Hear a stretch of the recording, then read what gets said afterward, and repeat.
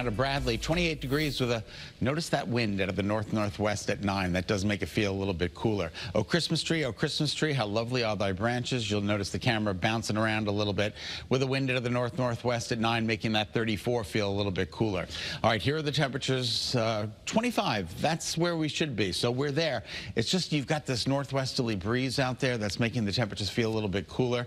Here are the sustained winds anywhere from 9 to 14, sevens and eights. Uh, Uh, it's not huge. I mean, a 14 mile an hour sustained wind is a little bit huge, but everybody else is just between about three and nine. But it's just enough to make things colder. We've got one gust out there to 18 miles an hour, so it does make it feel like it's 27 in New Haven. Forget the upper 30s, so that's the actual temperature.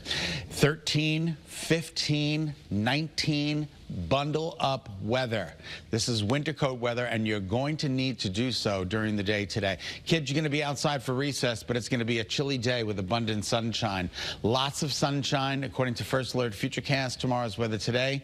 I just ran the clock down through 5 p.m. We're good. Tonight, we're clear. Tomorrow is another abundantly sunny day, but a big warm up with the southwesterly flow. That is going to mean a lot of difference here in the state with temperatures pushing near 50 degrees tomorrow. So this cold little snap that we're enjoying today with temperatures only in the low to mid to upper 30s, it only lasts a day. And then here's your seven day forecast 52 tomorrow. Wow. 49 on Saturday, partly sunny skies. Sunday, increasing clouds with some rain developing by the evening. And then a first alert for more rain and wind on Monday.